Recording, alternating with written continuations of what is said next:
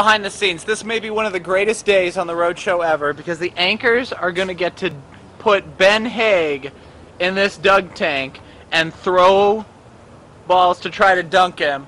Hold on, let's go into the studio and see how much fun they're going to have. Guys, this must be one of the greatest days uh, in your lives. Uh.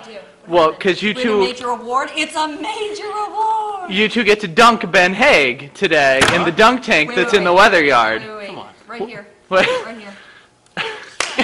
You know, in the history of the six months that I've worked here, I have never seen Elizabeth so happy with news delivered to the set during the commercial break. Well, usually, you know, it's just scripts, more work to do, Yeah. that sort of thing. Rarely does it, is it anything that would produce pure unadulterated joy. And the good news is, It's freezing outside! not only that, but this will be probably, what's today, Thursday? Yeah. It'll probably be the first time this week Ben has actually been submerged in some sort of water to clean himself. Right, right, right. And when he comes out, he's gonna be a bensicle. He will be a bensicle, and then when he, his hair's still wet, we're gonna make that, that silly Faux little faux What hawk. is with they the faux hawk? Can we do a podcast on the faux hawk, seriously?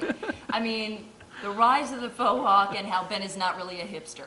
I will say this, Ben has certainly raised the level of the fun guy on the Rhode Show. Well, it's in his contract. It is in his contract, but he, um, he will not, he will not be missed when he does in fact leave us. Oh, wow, that one that's hurt a cold. little. That All right, That's all cold. right, all right, let me take that, let me take that back.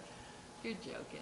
Because these two, I'm they not love kidding. it. You- No. Well, the dunking will commence at approximately 8:30ish on the Can we Rhode Show. clock? Uh, we we need a need a con- we do need a contact clock. Stay tuned.